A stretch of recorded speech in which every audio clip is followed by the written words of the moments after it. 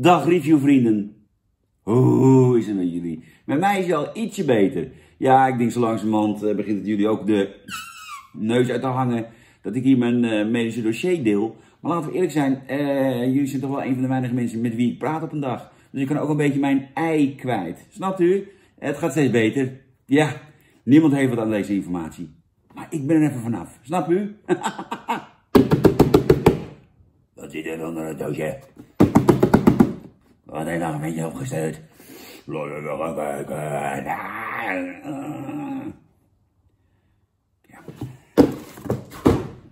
Oh, dit, dit ken ik. Dat zijn van die roomkaasjes. Die smeer, uh, smeer uh, kaasje met kruiden.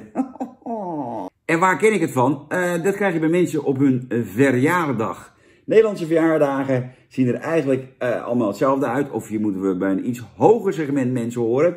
Maar over het algemeen uh, kan je ervan uitgaan uh, dat een soort kringetje. Mannen die praten met elkaar over voetbal. Vrouwen over weet ik veel waar ze over praten.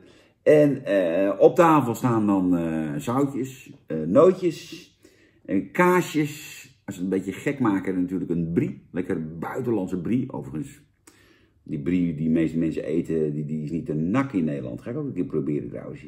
Maar goed. En zo'n roomkaasje met een stokbroodje erbij. Dat vinden ze lekker. Patouré of boursin staat er dan meestal. En dit is de garlan. De garlan. Ik ken ik niet. Maar, en, en dan smeren mensen op en dan zie je ze kijken. Nou, ja, lekker. Lekker. Nou, ik zal je wat vertellen. Het is niet vies, maar het is, ook, het is toch helemaal niet lekker. Het is hetzelfde als kruidenboter. Mensen die gek zijn op kruidenboter, die vreten dus een heel stokbrood met kruidenboter weg. Wat is kruidenboter? Gewone boter. Meestal als je dus kant-en-klaar koopt, goedkope eh, boter. En daar hebben ze dan heel veel zout in gemieterd. En wat kruiden. Vandaar ook kruidenboter. En mensen zitten op de kanus wat potverdomme een delicatesse is. Dat is het niet. Dat is het gewoon niet. Ja, het is gewoon opgeleukte boter. En om nou met opgeleukte boter eh, een, halve pot ervan op te vreten een, in een stokbrood. Ik zie het heil er niet van in. Maar goed, who am I? En dat is Engels, voor wie ben ik? Dan kan ik u vertellen, Jantje Roos. Enfin, Boursin, Paturin, Garlin. Klinkt allemaal Frans. Volgens mij is het allemaal Nederlands als de pest. Ga ik even opzoeken. Goed, de die komt gewoon uit Frankrijk. Leuk, uh, leuk bedacht om heel te roepen dat het gewoon niet uit Frankrijk komt. Uh, de, de, de Paturin komt wel uit Nederland, volgens mij verse roomkaas met kruiden. En dit is dan uh, uh, vin herbs, uh, garlic en herbs. Dus gewoon ook kruiden, een beetje, beetje knoflook erbij gemieterd. Ook verse roomkaas. En dit is, je wil niet geloven, verse roomkaas met kruiden. Het is gewoon al drie hetzelfde. Maar er is een prijsverschil. De boursin is duur. Waarom? Ik weet niet. Maar dit doosje is vele malen duurder dan deze trog en deze trog. En bij de Boussin, ja, dat is gewoon een kartonnetje. Voor... Ja, Boussin weg. En er zit een droomkaasje in een cellofaantje. Dus het meest rabbig ingepakt is het duurste. Ik denk dat ze denken dat het chic is. De Paturin is zeg maar het middensegment. En de Garlin uh, kost geen ene hol. Dit hele bakkie, ik heb dat net even opgezocht, kost geen 80 cent. Terwijl dit naar de 3 euro gaat. Wat is het verschil? Nou, hier zit heel veel in. Hier is het stuk minder. Volgens mij qua ingrediënten valt het ook wel mee wat het verschil is. Even kijken. 0,2% kruiden, lekker veel. Peterselie, basilicum en dan 0,2% knoflook. En, en ja, dat is het dan. Wat zit er dan in die dure bouzin, als ik vragen mag? Eens even kijken. Uh, ja, ook melk. Uh, knoflook en fijne kruiden. Oh, hier zit 1,9% knoflook en fijne kruiden in. En hier is bij elkaar opgeteld uh, 0, ja, 0,4%. Ja, dan begrijp ik wel dat deze goedkoper is. Boter, blablabla. Room, knoflook en fijne kruiden. 2,6%. Oké.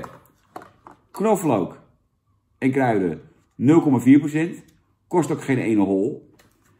Dan gaan we naar de allerduurste. Daar zitten knoflook en kruiden in. En daar zit, god, waar staat er nou? 1,9%. Maar het middensegment, de Paturin, heeft 2,6% knoflook en kruiden erin. Kom er maar eens op. Nou ja, je hebt je er trek in, verse roomkaas met kruiden. Nee, maar goed, we moeten proeven. Dat hoort erbij. Dat is uh, part of the deal. Uh, onderdeel van het concept. Dus uh, ik ga broodjes toasten. Want roomkaas met kruiden eet ik op getoast brood. Ja? Mooi. Floppy, floppy, floppy. Toastbrood uh, en drie uh, verschillende mesjes. Kijk wat leuk, dit zijn de mesjes van mijn kinderen. Van Jip en Janneke toen ze nog heel klein waren. En aardig voor de vader. Dat is ook lang geleden. Enfin, dat leggen we zo neer. Wat gaan we, wat gaan we doen? Gaan we van goedkoop naar duur? Of gaan we van veel kruiden naar weinig kruiden? Ja, dat zijn allemaal keuzes die ik moet maken. Zo'n review maken is niet gewoon maar, maar doen. Het is allemaal denkwerk. Van goedkoop naar duur. Of van duur naar goedkoop. Nee, van goedkoop naar duur. Goedkoop naar duur. De Garlin. Eh, nog een 80 cent. 150 gram. Hier zit 90 gram in. Voor zeg maar de, nou ja, eh, bijna 2 euro. En voor de 3 euro krijg je 80 gram. Hoe duurder, hoe minder. Zo ziet de Garland eruit. Het ruikt eigenlijk gewoon, wat we eerlijk zijn, naar uh, een soort kruidenboter. Het is een heel luchtige, fluffy uh, massa. En je ziet dus ja, wat stipjes en wat streepjes zitten. En dat is dan de peterselie en de basilicum. Voor de rest is het gewoon vet en zout. Hoe is het al, hè? Wat opvalt, is dat je naast de roomkaas eigenlijk alleen maar knoflook proeft. Knoflookroomkaas. Je proeft van de andere kruiden geen reet. Luchtige roomkaas met knoflook. Is het vies alleen? Uh, nee. De Galem is niks. Het is gewoon niks. Er zit 0,4% kruiden en knoflook in. En dat proef je. Want je proeft namelijk heel weinig, behalve heel ver in de verte. Knoflook. Galin kost geen hol, is geen hol. Ik zie hem niet. Ik zie hem niet. We gaan naar het middensegment. Paturin. Eh, als ik heel eerlijk ben, dacht ik dat Boursin en Paturin één en hetzelfde merk was. Want ik zeg altijd, ah, Boursin de Paturin. Boursin de Paturin. Dat is dus niet waar. Er zijn gewoon twee verschillende merken. Paturin dachten ze, ja luister, wij gaan het even wat leuker in een uh, bakje gooien. Bij Garlin krijg je waarschijnlijk het dubbele. Maar wij doen, er, wij doen er net even een leuk vormpje in.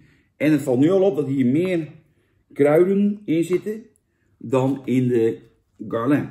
Ook valt op dat dit minder luchtig is. Zie je? Het is minder luchtig. Meer kruiden, minder luchtig. Gaan we. De Paturin.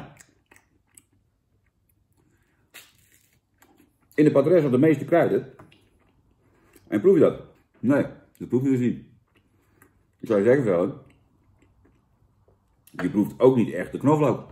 Wat je wel een Garlin proeft. De roomkaas is lekkerder. Dit is echt een hele smerige, luchtige, beetje niks zeggende roomkaas. Deze roomkaas is vetter en gezelliger. De smaak van het product alleen is verwaarloosbaar. Smaakt ook niet naar echt heel veel. Ondanks dat hier de meeste ingrediëntjes in zitten. Alleen in je mond is deze lekkerder dan die. Gaan we gelijk doorrammen naar het allerduurste segment, namelijk... Mm, Boursin. ah, oulala. Overigens denk ik dat ja, in Frankrijk die mensen die, die, die, die, worden doodgegooid met lekkere kaarsjes, die gaan toch in Boursin zitten, de bikken thuis. De Boursin valt op, uh, je ziet bijna groen uh, van de kruiden erin, terwijl er minder kruiden zitten dan in Patre. Dus ik ben benieuwd, uh, is deze lekkerder dan de rest? We gaan merken, is die duurder? Zeker. Ah, kijk, deze is helemaal minder smeerbaar. Waar uh, deze uh, een soort, soort, ja, hele luchtige, fluffy melange is. Deze een soort smeerbaar vettig. Is deze, deze brokkelt meer. Kijk, zie je? Dit is meer, dit is echt meer een beetje brokkelig kaas. Kijk, dat is wat, wat de rul, ruller. Nou, laten we gaan proberen de duurste. Bourgoin. Dit is een stuk minder uh, Ja, dit is kleffer, kleffer smeerspul. En dit is, ja, dit is gewoon een ruwe kaasje. Is hij daardoor lekkerder? Nou. Nee. Is de smaak zoveel beter? Ook niet. Ik vind hem gewoon eigenlijk een stukje minder dan de Portugais. Ouais. Ouais, je m'appelle Jean. Quel âge? Euh, Aha, une trottoir prostituée. nou, ik ben eruit. Laten we eerlijk zijn, eh, ik ben eruit. Tijd voor de cijfertjes. de Galin eh, kost geen hol, is geen hol, smaakt naar niks. Fluffig, nou, hij smaakt wel naar iets. Het smaakt naar gewoon een knoflookpoeder. Maar meer is het niet. Het is knoflookpoeder, een hele luchtige roomkaas, knoflookpoeder, eh 80 cent. Het is 80 cent misschien wel waard. Maar ik ga dit niet eten voor mijn lol. Dit is gewoon niet lekker. Die krijgt van mij gewoon een 5. Een 6. De Boursin. Die is hartstikke duur. Die is ik drie of vier keer duurder dan die Garlin. Ehm ja, kijk, en die is minder smeerbaar. Die is meer brokkelbaar. Die is meer kaaserig misschien wel. Alleen qua smaak, ja, het stelt gewoon eigenlijk helemaal geen ene moer voor. Dat mensen dit nou zo leuk vinden. Ja, het smaakt er eigenlijk helemaal naar niks. Oh, die krijgt van mij wel een 6. En de winnaar is eh, de Patourin. Eh, waarom? Omdat de Patourin...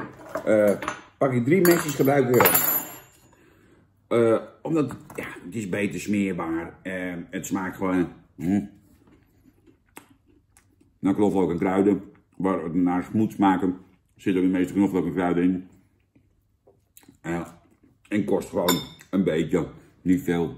Is het, is het helemaal top? Nee. Zou ik het kopen? Nee. Moet ik er blij van? Nee. Gewoon een zeventje. Klein zeventje. Het is wat het is. Nou jongens. Dag.